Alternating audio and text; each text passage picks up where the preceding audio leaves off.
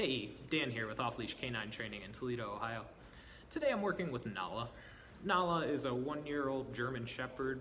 Uh, her owner brings her to us, in their own words, with a lot of wasted potential. Uh, she has a lot of high energy issues, kind of going crazy when people are coming to the door coming over. Um, and with three other kind of lower energy pit bulls in the house, they want to really get her under control so she's not kind of getting them amped up and having them make bad decisions too. Uh, so we're going to be working with Nala over the next two weeks, uh, maintaining a lot more calmness, uh, especially in the home setting, um, and just kind of make sure that she's under control uh, with a bunch of kids running around the house, and they just even knew, had, had a new baby as well. Uh, so let's check out how Nala did over the last two weeks.